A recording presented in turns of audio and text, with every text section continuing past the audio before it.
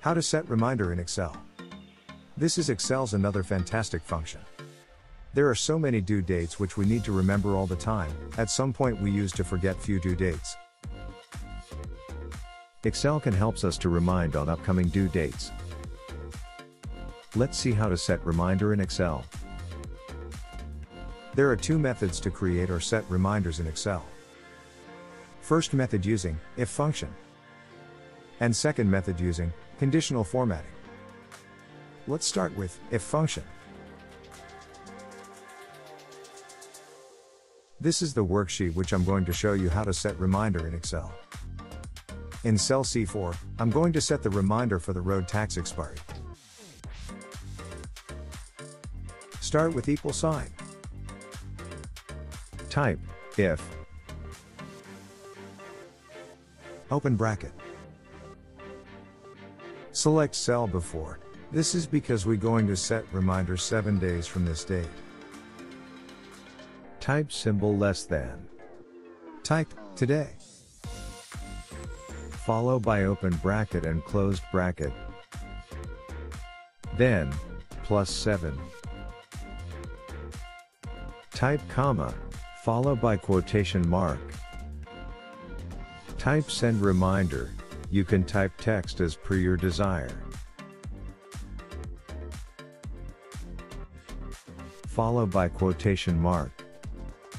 Again type comma, and follow by quotation mark. Leave space and type quotation mark, then closed bracket. Now, the formula is complete. This if function will show reminder, if today's date, less than 7 days from the date in cell B4. You can click, enter now. Drag down the formula. Done with, if function. Before we move to second method, don't forget to subscribe to this channel for more Excel tutorials. Now let we see, how to set reminder by using conditional formatting. This setting will be more easier than if function. First select the dates which we going to set up conditional formatting. Then, click on the conditional formatting button in ribbon. Select new rule. In this list, select, use a formula to determine which cells to format. Under this format values, type equal sign, followed by typing and open bracket, type B4, type symbol less than, followed by typing today, and open bracket, then closed bracket. Plus 7.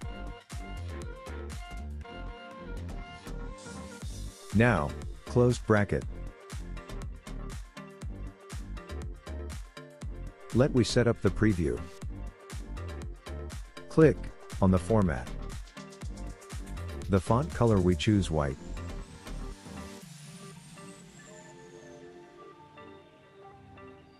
Let we set the fill with red color.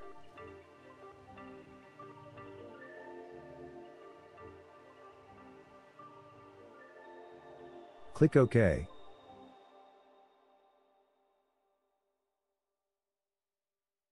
These are the two method to set reminder in Excel.